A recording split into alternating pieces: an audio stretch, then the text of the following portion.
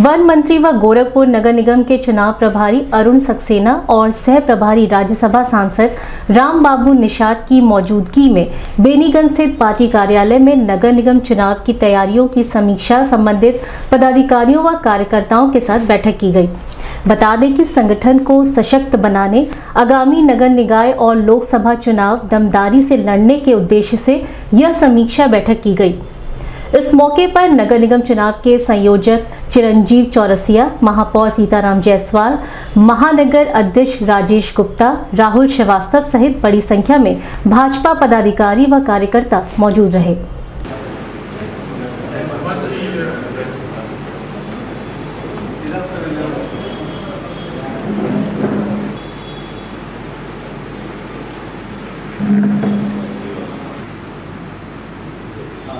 बड़ा है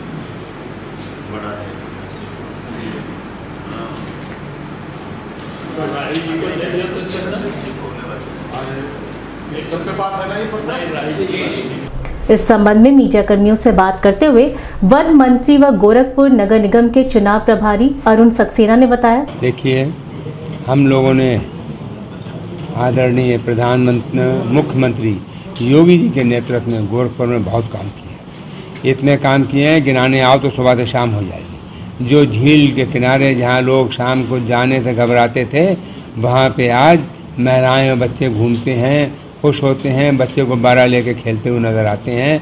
तो ये गोरखपुर में बहुत बड़ा डेवलपमेंट है। उसके अलावा यहाँ की जो फैक्ट्री थी, जो बंद थी, उसको फिर से शुरू करा दिया, लोगों को रोज़गार मिला।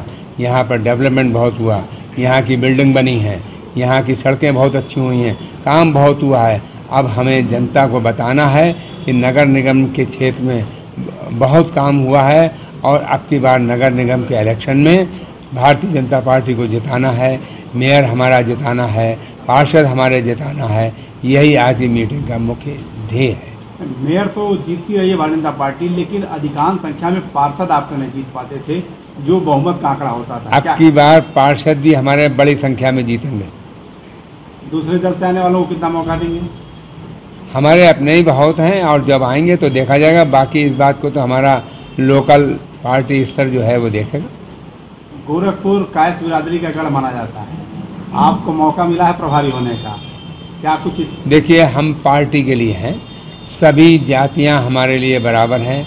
हम सभी जाति धर्मों का सम्मान करते हैं और सबका सम्मान करते हुए पार्टी निर्णय लेगी।